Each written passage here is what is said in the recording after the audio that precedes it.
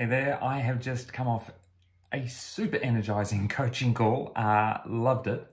Um, and we were talking about building teams that hum uh, as part of this program that I'm running. And building a team that hums is, in so many respects, about the energy that you infuse into a team. Now, when I say you, whether you're a leader or whether you're a member of the team, there's this kind of idea that we're all as a group infusing and creating this collective energy between us. And i think um, that is sometimes we don't something we don't think enough about. Because if you think of the way in which teams spend time together which is in large part meetings whether that is in person or as has been the norm of late online the way in which you design those meetings is either going to create space for there to be a shared energy or not.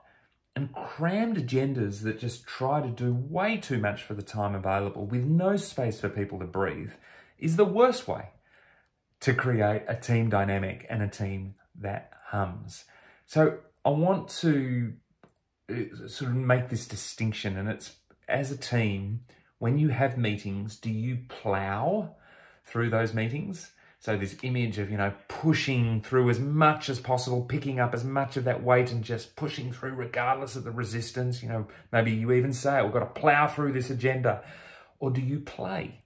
Which is that we dance lightly through conversations. We engage and we riff off each other and we uh, come up with ideas because of what is happening in the conversation and we allow space for those ideas to emerge and to take hold.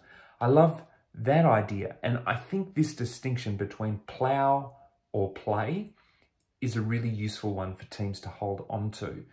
So have a think about some of the meetings that you've had, some of the group interactions you've had, maybe even the way you are going about projects. And over the last few weeks, how much ploughing has there been doing versus playing in each of those formats?